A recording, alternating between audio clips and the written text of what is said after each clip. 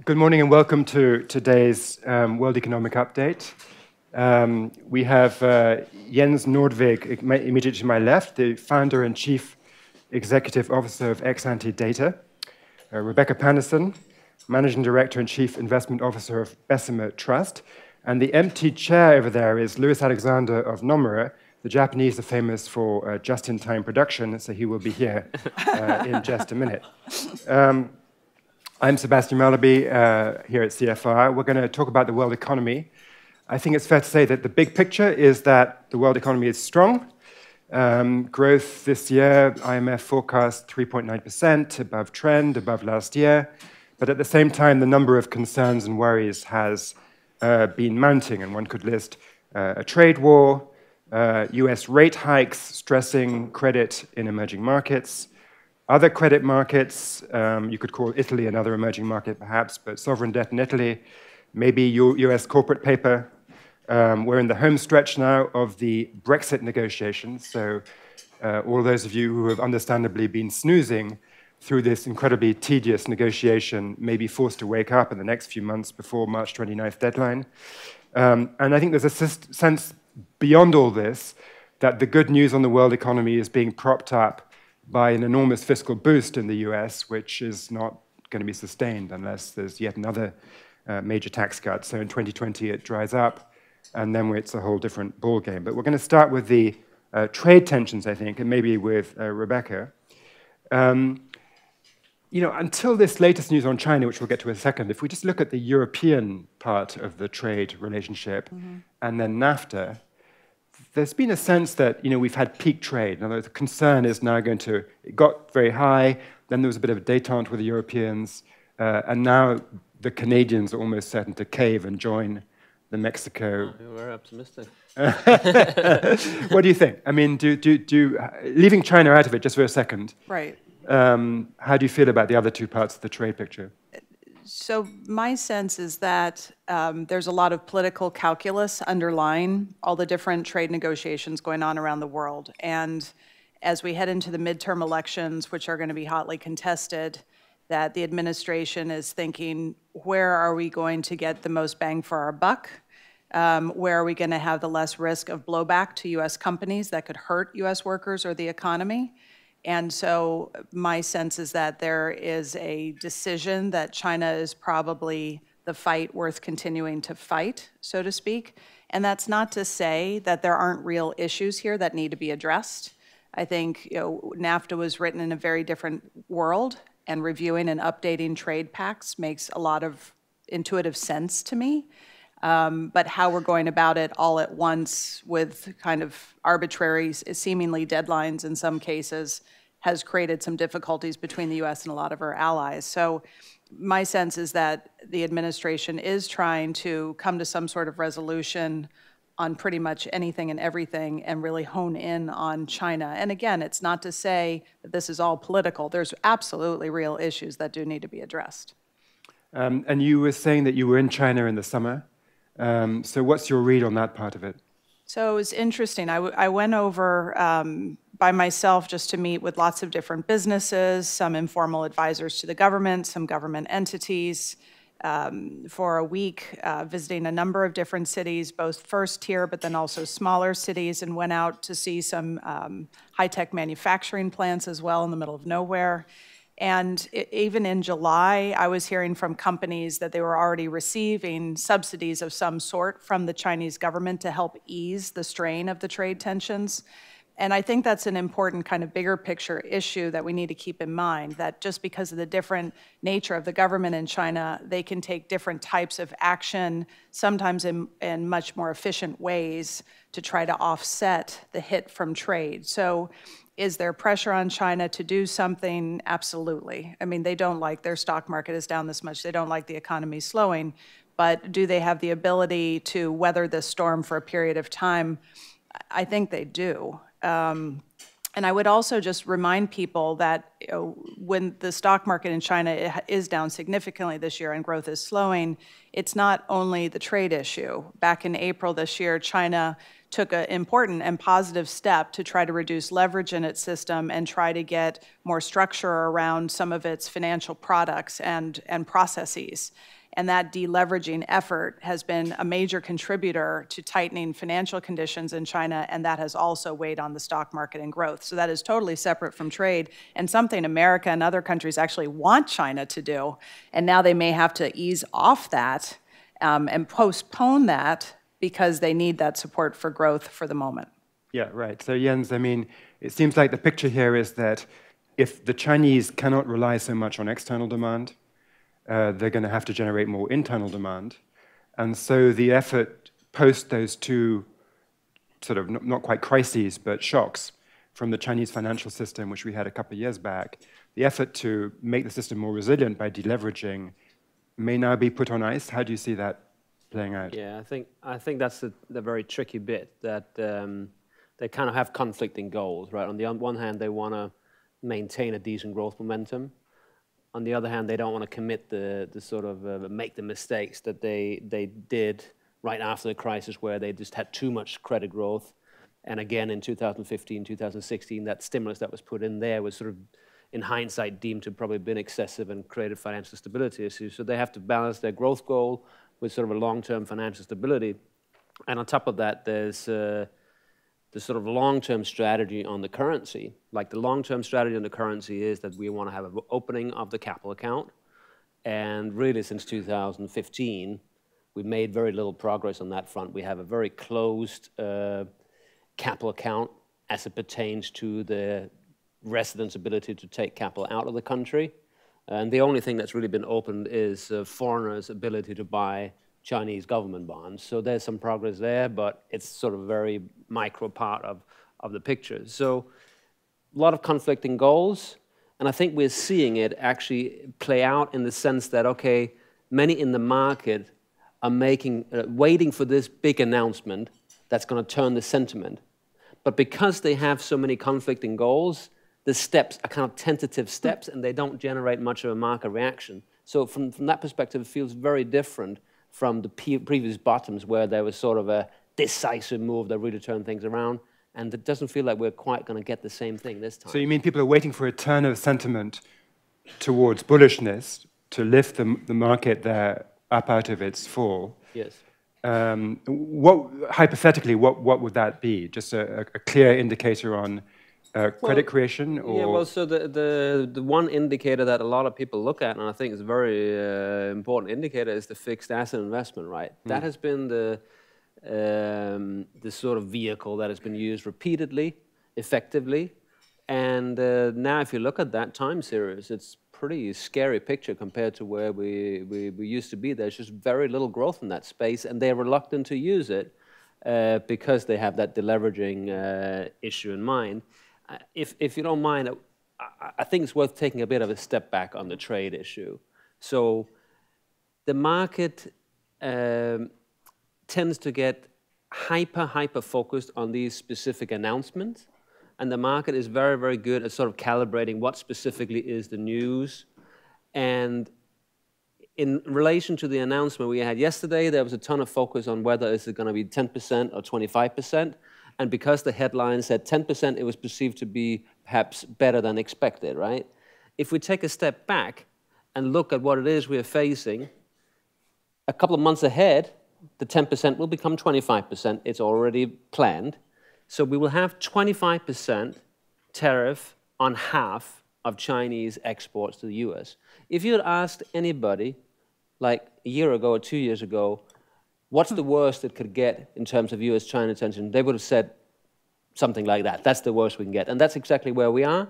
And then what is in store in coming weeks is that China is going to formally retaliate. We already had the Commerce Ministry uh, indicate overnight that the retaliation is coming. It's just a matter of time. They just want to have the details right.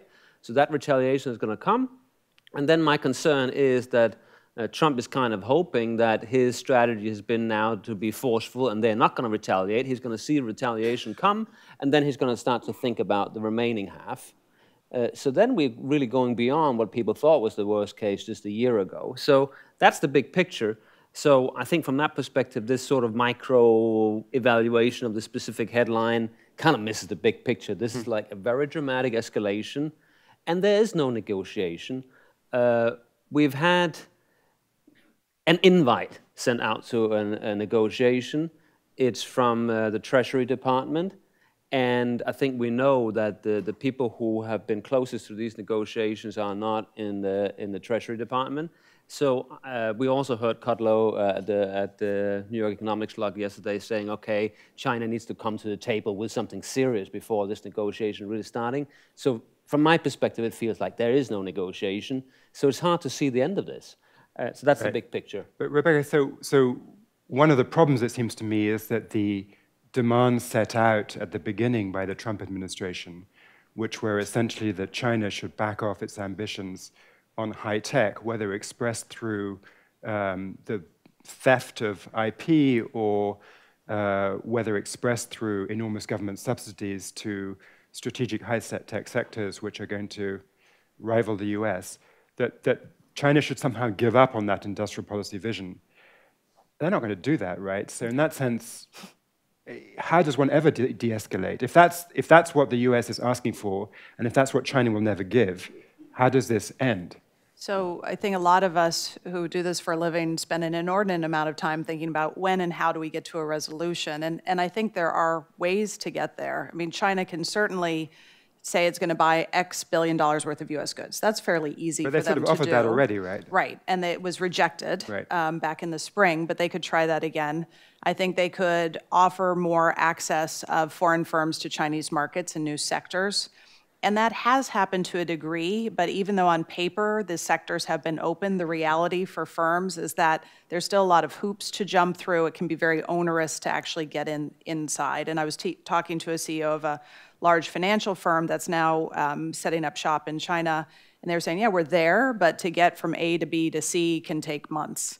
Um, so, but they could further that, and I think it's interesting. At the end of this year, we'll have the 40th anniversary of Deng Xiaoping's opening up and reform, and President Xi may want to use that as an opportunity to make a big bang about further opening up to foreign governments. So that could that could be step two. But to your point on Made in China 2025, their industrial policy or one of their industrial policies, they they need this. So you have to remember put on your domestic hat.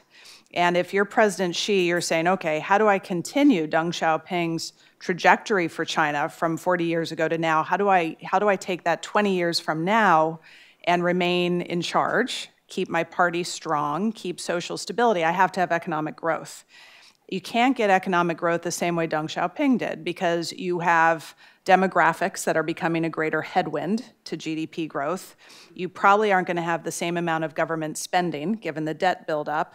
So you're going to have to rely increasingly on productivity, which is technology, which is where this industrial policy comes in. So I can see what they're trying to do. They're trying to become a value added economy similar to Germany or perhaps, South Korea in a sense and push up uh, per capita GDP that way. Can they find a way to do it where they're competing with the West and the rest of the world, but uh, not in the same way that's happening now, which is technology transfer or licenses that, again, are a way to, to transfer technology? I think there has to be a coming of the minds that we can compete we can both be global leaders, but we both have to agree to a certain set of guidelines slash rules and then abide by them. And if that conversation can happen and there can be some compromise there, I think we can get to a resolution. But for America or any other country to tell another country, you can't have an industrial policy, to me is a little ridiculous. I mean, Germany has Industry 4.0 right now. They have an industrial policy. America in 1983 had Project Socrates. We had an industrial policy. So every country will do what it needs to do to grow, and political leaders will do what they need to do to stay in power. Yeah, so to that extent, the opening demands that the Trump administration made to China have to be dropped for there to be a resolution, and this administration is not likely to want to drop something which is so much in the public eye and is so much part of the identity of, you know, populist economic nationalism. It's also how it's going about. I mean, publicly bullying a country like China, given its culture, given the the goal for the Chinese leadership of saving face and looking strong to their own population is right. not likely to be a successful approach. Right. Um, you know, if you read some of the works Kissinger has written on China, including on China, Um, you know, there's a lot of discussion in there about past decades where the most uh, productive negotiations were ones that happened behind the scenes at a table saying, we understand what you're trying to do, you need to understand where we're coming from, let's figure something out. And that approach, where it's not losing face in a public way, seems to be a lot more effective with that particular country. And in a second, we're going to segue to emerging markets, but uh, other emerging markets. But I want to just ask one quick comment. Jens made a, a remark in passing that the strategic goal for China is capital account liberalization. I just wonder whether you were, when you were there in the summer, mm. is that really still their goal? Because I associate that with the technocrats um, of the people's, of the central bank. Uh, Xi Jinping is not a technocrat at the central bank. No. He, so do you think they really do want to liberalize the capital account? I think there are factions within the administration that do, and I think longer term, if they want to be a global player, that that's probably something that will need to occur. Um, but in the short term, I agree. Right now, there, you know, the renminbi is down about five, six percent against the dollar so far this year.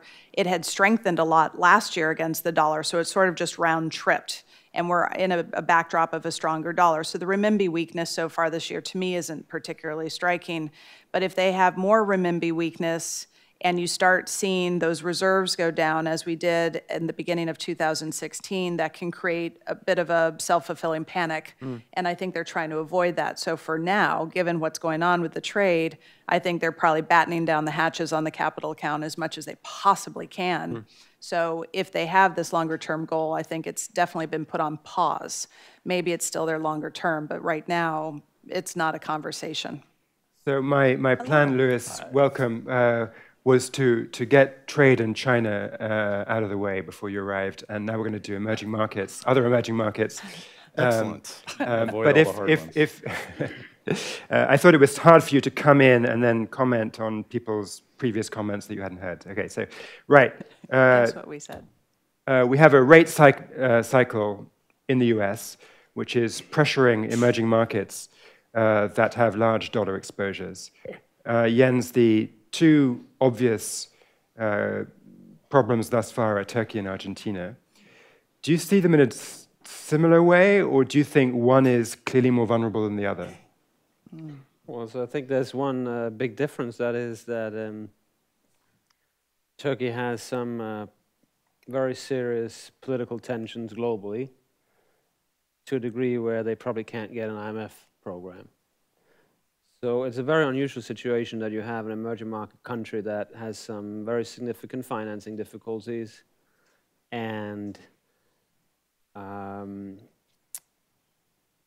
they've had some very serious issues with their monetary policy independence being in question, but there's no backstop from central the, bank independence being yeah, yeah, yeah. But, th but that's really very unusual, right? If you sort of go through the last 20 years, every time we've had an emerging market situation like this, it's been always controversial to get the IMF program, but if the country wanted it, they could typically get it. Well, isn't Malaysia, Malaysia 1997 a counterexample? Mahathir said to the outside community, get lost, we don't like you. Yeah, they didn't, they didn't want it, but I think uh, the, the difference here is that even if they wanted, they couldn't get it. I see. Yeah. I think Turkey, to me, I mean, both situations are, are unfortunate and tragic for the people living in those countries who are affected. I think Turkey has another element to it which makes it to me much more relevant, which is just it's more geostrategic than economic. It's yes, it's material that you have Spanish banks that own large amounts of Turkish debt, for example, but but that to me almost pales in comparison to what could be longer term issues tied to Turkey. So Turkey has an agreement with the European Union that it'll receive 6 billion euros in return for not allowing immigrants from North Africa and the Middle East through Turkey into Europe. And according to Turkey, it's only received part of that payment and it desperately needs more sources of financing right now. So Turkey actually has an interesting degree of leverage in all this with the rest of Europe. If Europe doesn't give them financial aid to get them through this crisis, one lever it can pull is opening the doors, so to speak, and letting more immigrants into Europe. And now we're at a point in time very different than 2015 16, where a lot of these European countries that initially opened their arms to these immigrants today politically can no longer do so. And we've seen that in Germany and Italy and Sweden and in others. Um, so if you're Angela Merkel, and let's just face it, that's the country that has the money to kind of move the needle here. If you give a bailout to Turkey, you're going to have a part of your populace that's angry that you're supporting an autocratic person who doesn't believe in human rights. If you don't bail out Turkey, then the immigrants, there's a greater risk that they come back in again, which is hurting you politically. And you have a risk that Turkey then says, fine, you're not going to give me money, I'll get it from Russia and Iran. So geopolitically, it puts Europe in a very delicate situation. Um, and in the US, there are still levers there as well. We have military bases in Turkey that are absolutely critical for us, NATO bases there as well. Um, we need those bases to stay. So it's, to me, Turkey is, is very important, uh, not just as an emerging market that's pushing investors out of emerging markets broadly, but also from these kind of longer term geopolitical issues that I don't necessarily see how they're easily resolved. Um, Lewis, on, on Argentina, uh, the government's raised the interest rate to 60%. Uh, a, can they sustain that domestically? Um, and you know, B, even if they did, are the markets going to carry on financing the country? Um, I think for a time the answer is yes. Um, the country has obviously had its ups and downs over many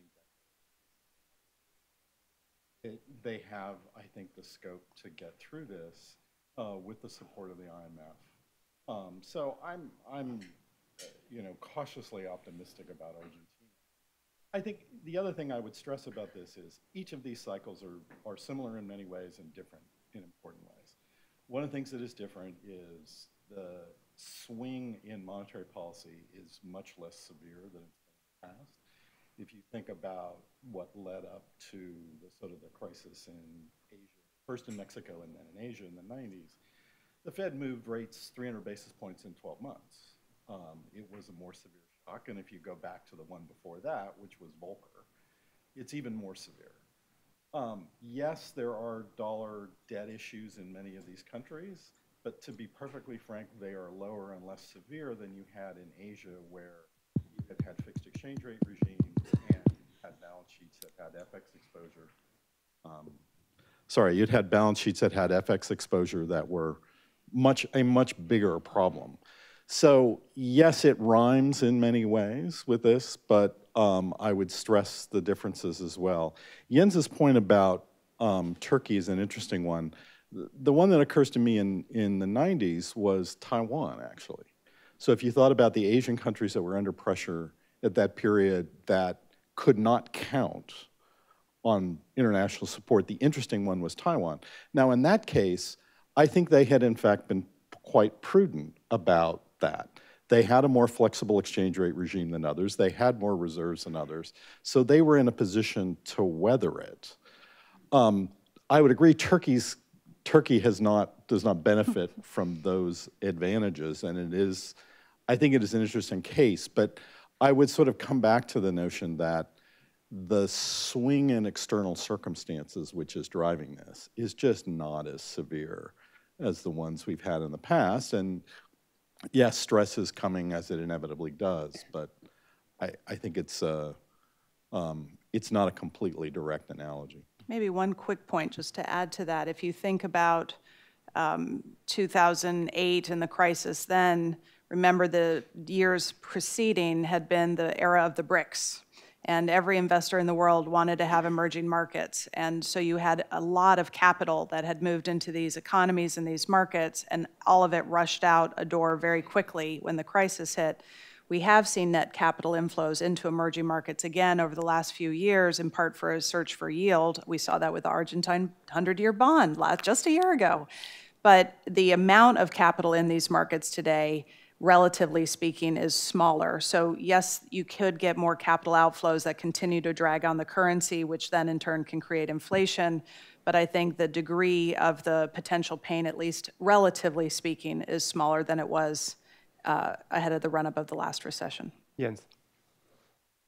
I think I, I think I'm a little bit less uh, chilled out about this uh, dynamic. Um, you look pretty chilled out. Yeah. well, so um, I'm very worried indeed. The, the- I think the issue is that uh, obviously Lou is right that on interest rates, sort of uh, the range of interest rate movements clearly much lower in this cycle.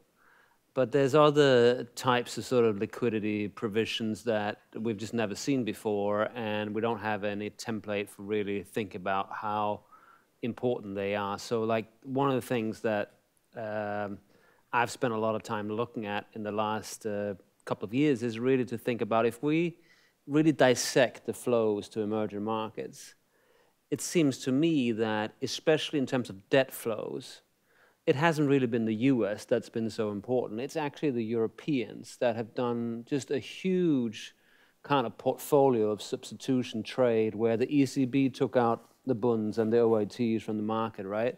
And all the investment managers that held those assets, they went on a massive scramble for any kind of yield around the world. And you can see it very clearly in the, in the data. If you look at all the aggregate flow that has come into EM debt, essentially since the ECB QE started in 2015, it's almost entirely counted for by European flows. Like the Japanese flow is borderline irrelevant, the US flow in that space is almost irrelevant. So I worry that even if we don't have much uh, sort of variation on interest rates, and obviously the ECB is not hike rates yet, there is this liquidity um, provision that was just really supportive in 15 and 16 and 17, and now the ECB is tapering this year and will fully taper in Q4 and in January, and I think that's a big uh, drag. Uh, so it's just one of those things. We don't have a, a historical uh, comparison how important that is. And uh, then on top of that, like there's also something going on with the interest rate variation in emerging markets. So we have massive currency moves this year, right? It's not just Turkey and Argentina. We've had a really big one in Brazil. Huh? We had a really big one in South Africa. Huh? And guess what their interest rate variability is? Zero. There's been no rate hikes in those countries. That's also something that's really unusual. So that makes me think, obviously, in a way, you can say that's a source of resilience that they haven't been forced to do that yet. But on the other hand, if you trade the currencies, if you own those currencies, it, that's going to make you more worried, I think. On the other hand, Russia has moved in response hmm. to exchange rate pressures, so it's a mixed picture. It right? is a mixed one. Yep.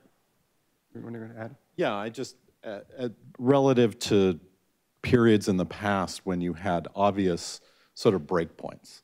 I'm thinking about the pegged exchange regimes in the 90s fisc clear fiscal sustainability problems, like in various points in various countries. When I look at it today and I look at those reactions, you don't see quite the same, okay, if it gets to here, that's obviously kind of a breaking point. And it, it frankly uh, feels like a more normal response.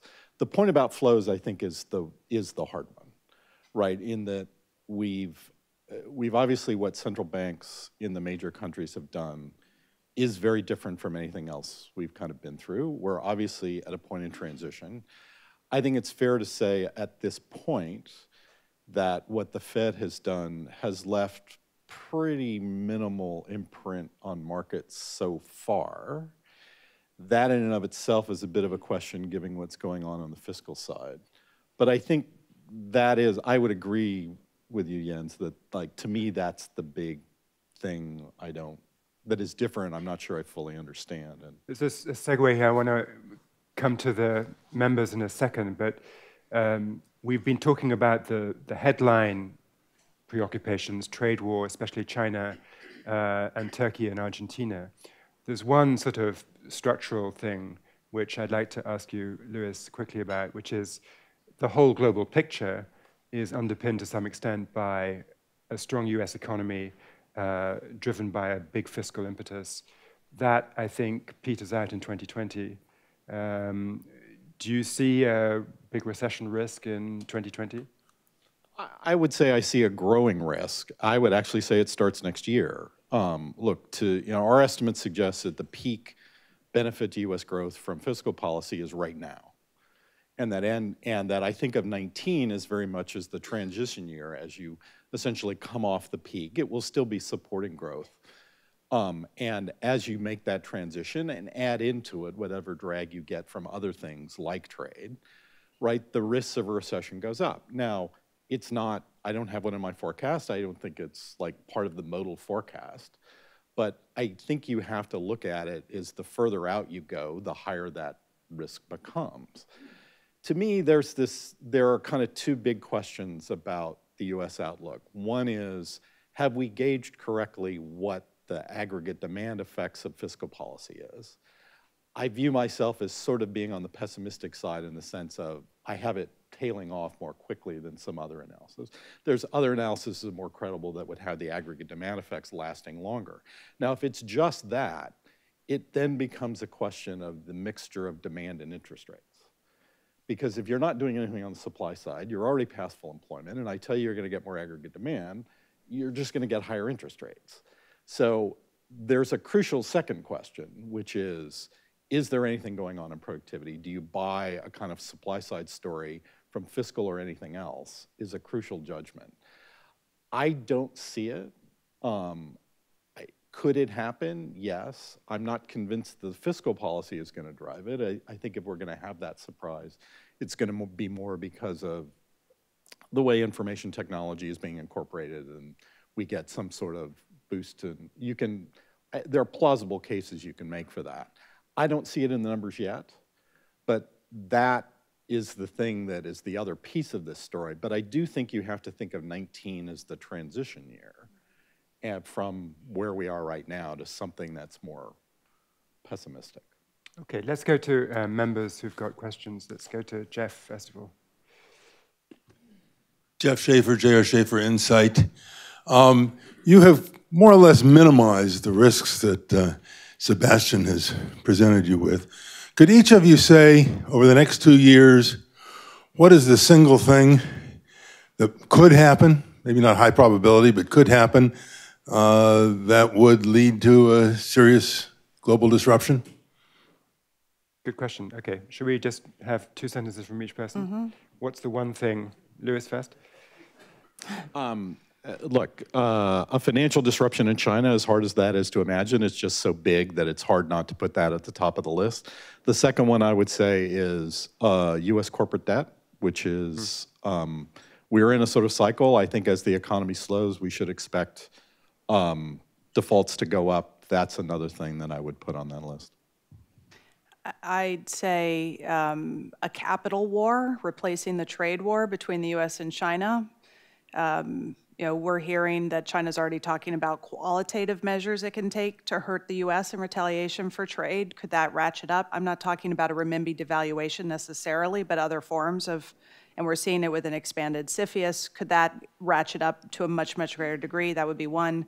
Two, for me, would be a renewed European crisis once the ECB backs off buying assets, if the Italian government decides to embrace fiscal largesse and we have another wave of immigrants and Europe no longer wants them, what's the policy response? What's the market response? I worry that next year, which is the 20th anniversary of the euro, incidentally, could be the most challenging year they've faced so far, especially if the markets are starting to anticipate a U.S. recession. Jens.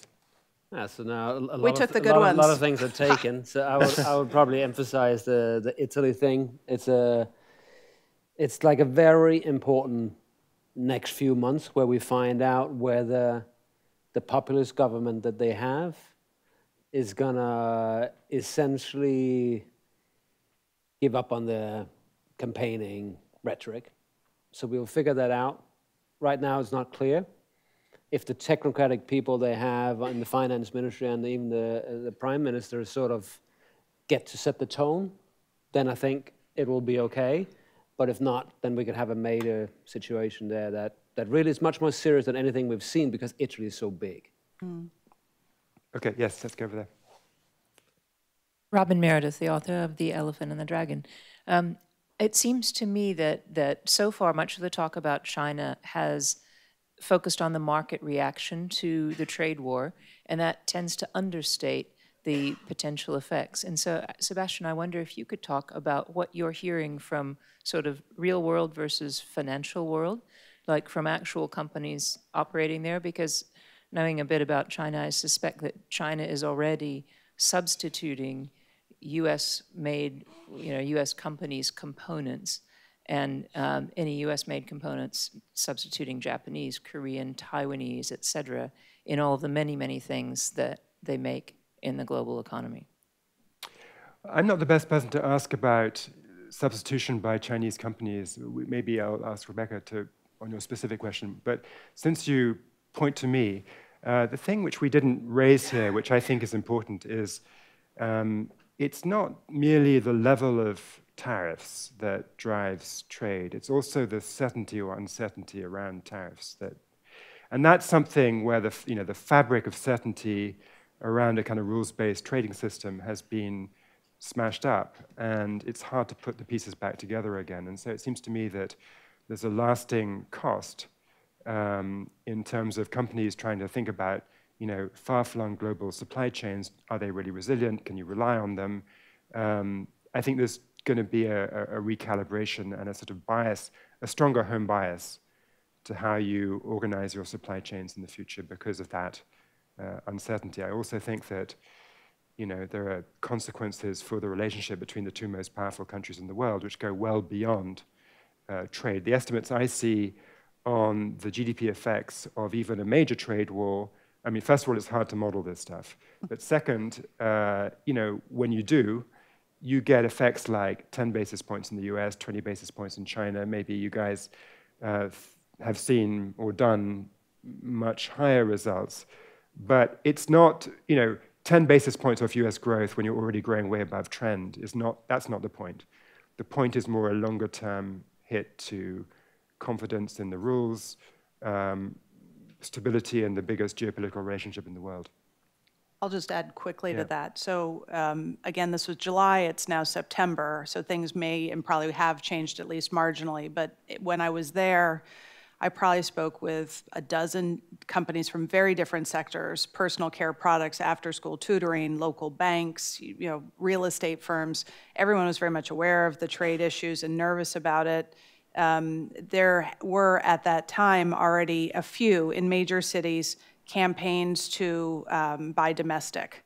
And we've seen that before when China and South Korea have had some issues. So, for example, in a couple of the larger tier one cities I was in, uh, there's a local Chinese coffee shop now, and it had signs in the windows, drink us, not Starbucks. So things like that are starting, forgive the pun, to percolate.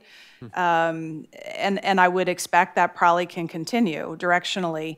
But uh, to echo your point, Sebastian, when I speak to American companies, most of them, and I think this is true in China to a degree as well, to change your whole supply chain is incredibly disruptive and costly and time consuming. And it's not clear, I think, to either side how long this lasts.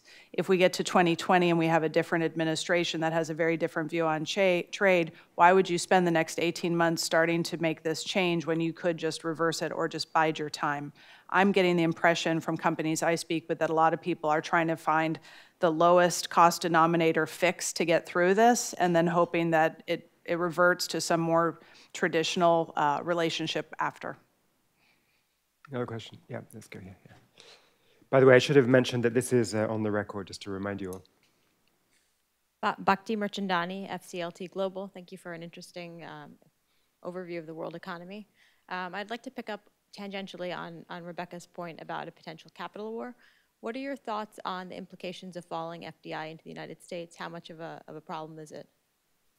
So I've been following, yeah, yeah. The Following FDI to the United States, how much of a problem is it? I think it's becoming a global problem, not just U.S. So, you know, and, and I should have said earlier, you know, part of this Made in China 2025 initiative that makes the United States anxious isn't just economic power and technological prowess, it's also military. A lot of this technology can be used in a military function that also creates some anxiety in the US, reasonably so. So strengthening the uh, CFIUS, the Committee on Foreign Investment in the U.S., I think if I'm getting it right, and there was law passed as part of a defense bill uh, in August to, to broaden the definitions of what can be reviewed by this committee and potentially stopped um, even in anticipation of this legislation, FDI from China to the US so far in 2018 is down something like 90% from levels last year. So you are already seeing incoming FDI basically come to a sudden halt. And it's expanded to uh, secondary and tertiary issues. So for example, if, if there's a German company that wants to make a strategic acquisition in the United States and they have a Chinese subsidiary and they worry about those links, they may block the transaction even with a German company, as a, a hypothetical example to explain this. It also goes into real estate. So uh, FDI is absolutely important. It's an important part of the capital flow that supports the dollar. You've now seen Germany enact similar um, legislation. You see the UK discussing similar legislation. Australia has similar legislation. You China legislation on inward investment on on reviewing reviewing M and A and FDI um, flows and possible um, announcements that could hurt national security or frankly just hurt national champions. And so if you have global trade slowing and you have global FDI slowing, uh, I think that absolutely would have, albeit a longer term kind of the frog boiling slowly, um, market implications. Yeah. I'd just like to, to make the observation that I think you have to think about that whole question in a context of, of significant structural change in a variety of dimensions. One of which is actual physical investment is less important, much less important than it used to be. It's much more about technology and intellectual property, number one. Number two, we're operating in a world where globally there are more very large firms that are operating this. And you have to think about this in a context of it's really about technology, how it's evolving, who controls it, and, and whatnot. I think there's a fundamental question as to whether or not the old regime was really adequate for those structural changes, quite independent of anything that comes from Trump or whatnot. I would add to that, uh, I'm showing my age, but when I go back to the 90s when we were, I was in Washington thinking about the global architecture, we had this vision that the world was going to, the rest of the world was going to get rich by becoming more like us. And so you had this system, you had this notion in your head of a system where e- the component pieces of it had systems that were basically compatible. I think what we're seeing with China is that that doesn't have to be the case and that China's approach to this is quite different.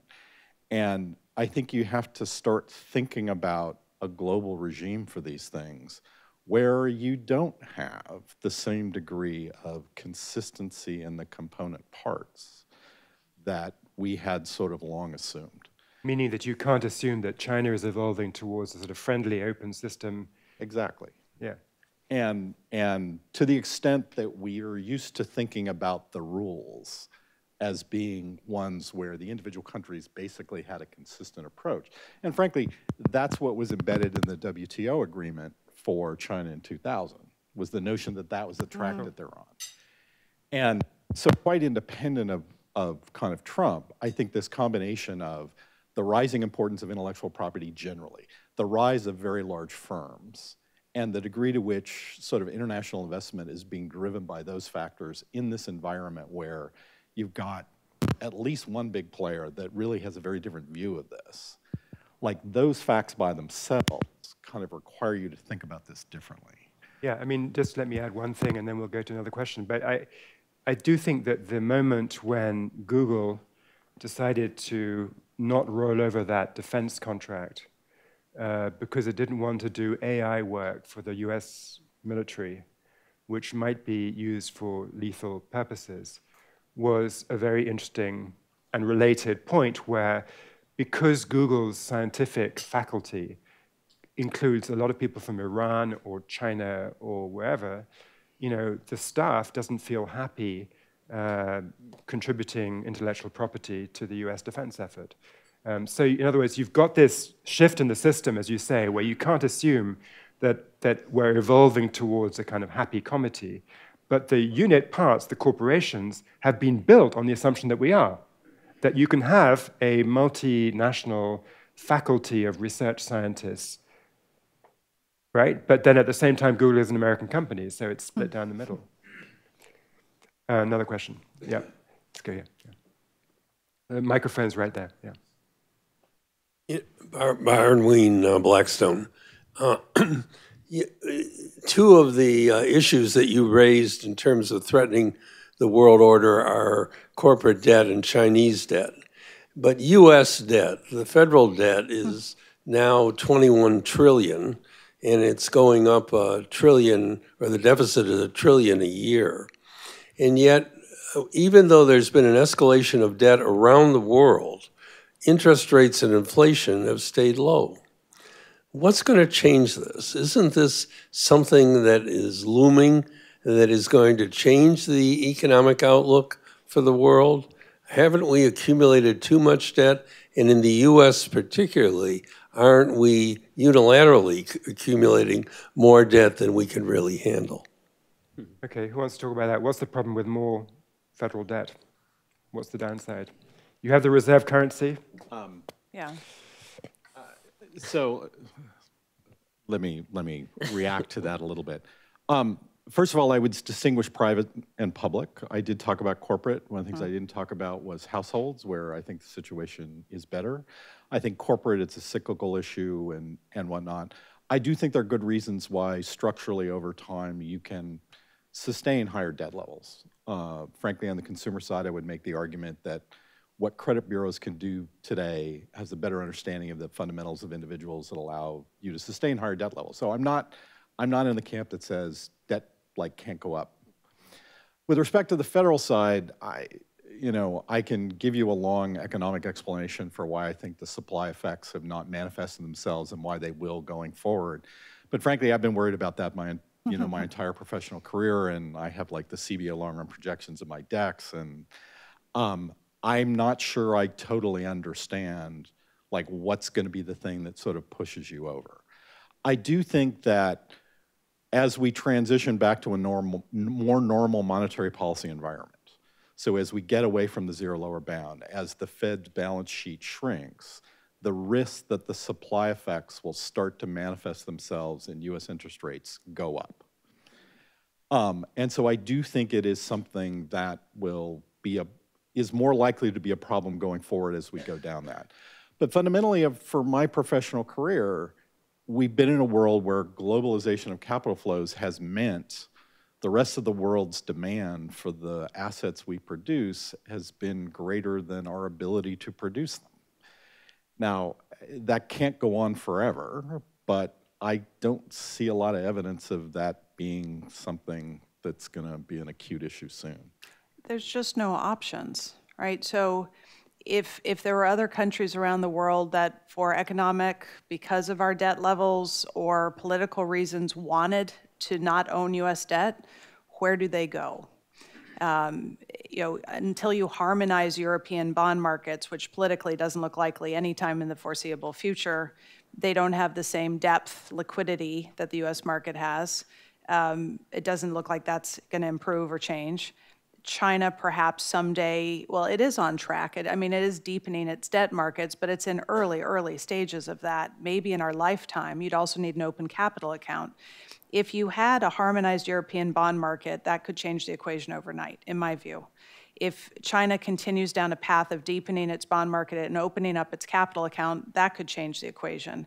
But until then, you have this one behemoth debt market that um, can absorb a lot of capital, and no one else has a rival to that. And so I think you could see interest rates rise. You're certainly going to see tension as interest expenses for the government rise, and that takes more resources away from other programs, especially as we have aging demographics or entitlement costs keep going up. That's going to be a stress point.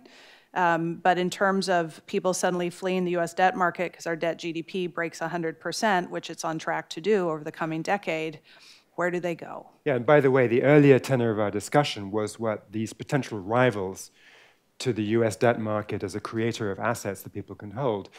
They're not accelerating towards rivalry, right? I mean, the Chinese are going to put on hold um, their move towards capital account openness because they've got other things they're more concerned about. Um, and you know, Europe has Italy to worry about, and uh, Macron's grand speech for you know creating greater uh, deepening and fiscal transfers in Europe, you know, dissolved on contact with German intransigence, and that's not changing. Did I, and did I miss the discussion of Brexit? No, you we saved it for you.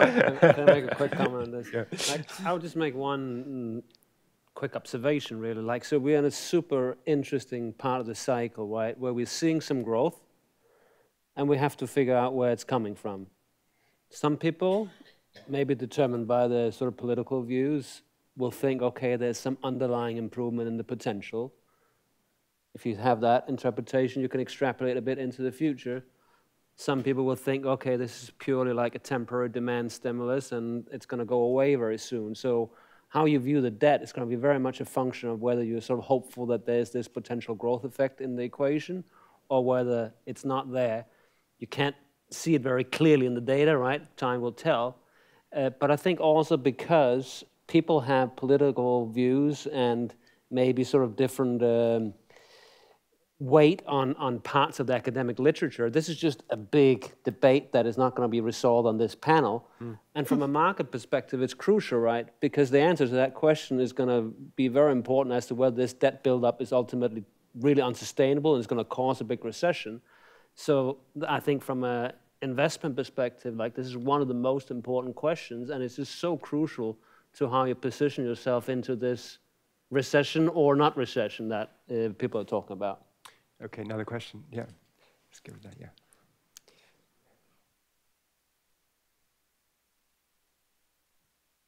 Hi, good morning. Rick New from uh, CV Starr. The world today seems to be dominated by bilateral issues. Mm. What do you see would be a change in role for the World Trade Organization, TPP 11, or maybe China and Japan supported regional comprehensive economic partnership in Asia? Thank you. Hmm. How does multilateralism come back? I was thrilled to see that there are a group of countries, uh, reportedly led by Canada, looking at the WTO, and I feel like WTO is ripe for some a brand refresh and maybe a modernization. And I think if you had a trade dispute mechanism that was more efficient, um, that would certainly help. Uh, you know, TPP um, I, I, think it's really a shame that it didn't get enacted more broadly because it was really a modern trade agreement and I think really addressed a lot of the issues that are there on both sides of the US parties and uh, on the political spectrum and, and in other countries um, probably would have been a, a positive thing um, and maybe it'll come back. You know, my I guess my my gut is that countries tend to come together most when they have to. And whether the recession is 2019, 20, 21, et cetera, when there is a global challenge and you need each other to get out of it as quickly as possible for your populations, you're more likely to work together. Maybe that'll become an inflection point that we look back at as a good thing. I mean, we've seen it before. 2008 9, there was a tremendous amount of global cooperation. Um, I don't have as much confidence it'll happen again, given the world we're in right now, but I'm hopeful that when push comes to shove and you need your neighbor to get out of the muck quickly, maybe we will. But surely the crude answer is that the entire post-1945 collaborative architecture was predicated on the role of the US as the dominant player that could corral others and sort of, you know, quarterback the global system. And if the US doesn't want to play that role because the Trump administration has a view that actually bilateral trade balances matter. It would rather deal bilaterally, almost not even bilaterally, just actually personally, leader to leader. You know, Trump said in a recent thing about China, you know, President Xi and I, for whom I have great respect and affection, we know we're going to work it out. It's this personalization. If the US is in that frame of mind, you're not going to get multilateral cooperation. I mean, show me the example, maybe I'm missing something, but of a, of a proper multilateral collaboration that didn't have a dominant power, that essentially led it? Um, so I'm going to agree in some ways and disagree in others. Look, there's no question if if Washington remains the way it is, that yes, those ch those challenges are huge and it's hard to see much progress. I think the real question is what happens after Trump, hmm. and how permanent is that aspect of what Trump hmm. has represented. I think the jury's still out on that. I I'm a little more optimistic about the fundamental economics of globalization as driving you towards these things? My basic answer is there's no real practical alternative to multilateralism in terms of dealing with an economy where transportation costs are low, information is much more important, and it's like essentially costless to have that across borders. Like, I, I just, I think about the problems we all deal with, like, that's going to drive you to some sort of multilateral solution if you want to be practical. But like it's the it is this question of sort of what happens after Trump. I think there's also there's a slightly different question which I think is interesting right now, which is in many ways I view Europe as the the like the leading edge of globalization, right? It's it's further along in trying to do what I just described than anybody else. But you're seeing the tensions, mm-hmm. right? And an and I think the logic the logic of it is you've got to find the right balance of what is effectively federalism. There's some things that you have to do at effectively a global level, but there are other things that you don't. And if you try and do everything at that level, if if the European integration means integrating everything, it's probably going to fail. That's probably not the right way to think about it. But how do you strike that right balance? Where do you put Hungary? Where do you put the UK? Right? But the fundamental notion that on, you know, trading goods and most of the economics, you know, how you deal with the regulation is kind of get get tricky, right? But you've got to find that right balance. But I I don't think Trump's Trump has a practical alternative for how to manage these problems in this world, and therefore I think, like once he's no longer, the relevant question is, what is it going to look like once he's gone? Who's going to be in that seat? Um, and I guess I'm a little more optimistic about what that outcome's going to be. Uh, let's get one more question in right over here, and then we'll, we'll wrap up. Yeah. Brody Vantage Partners. Rebecca, you just sort of threw out when we get a recession in 2021. I wondered if you could elaborate what you think the likelihood is, what the causes might be, and what's it going to look like? Sure, thank you. Um, I have no idea what day or year the recession occurs. Uh, I wish I did. That would make my life so much easier. Uh, you know, at the end of the day, most recessions, not that it's on purpose, but most recessions are caused by rising interest rates, tightening monetary conditions. Um, and that lifts those areas of vulnerability like non-financial corporate debt to the surface and, and suddenly you get a default cycle and, and you have stress from the credit market quickly infecting the equity market and we spin from there. Uh, so I think about it, what is the pace of growth next year? Does the fiscal stimulus last through 2019 or does it start fading sooner? Um, and how quickly does the Fed raise rates? And, and it is, every cycle is different, and this one's really tricky because maybe that tipping point on interest rates isn't as high as it was in past cycles. How do you factor in the balance sheet reduction? You know, there's lots of wonderful Federal Reserve papers that try to quantify how much that matters, but the honest answer is we don't know for sure. We'll know in hindsight. So I, we have a, a recession model. Most academic and financial institutions do now that they use as one of many inputs. Ours would suggest that looking over the next 18 months, 60% probability of a recession. It's one input. I wouldn't put anyone's capital to work on the back of that. Um, and what we've found historically is that equity markets don't start to roll over until that probability gets closer to 75 or 80%. Those probabilities can change depending on incoming data day to day. So it could go from 60 to 50 or 60 to 80 in a month. Um, but at the end of the day, I watch the Fed, how quickly they're tightening, and when do we see that stress uh, start to show up in profit margins, and when do we see it in corporate credit markets. Right now, we're fine. For the moment, we enjoy the party, knowing that the party is going to end relatively soon. Yeah, Jens, are you also dancing for the now?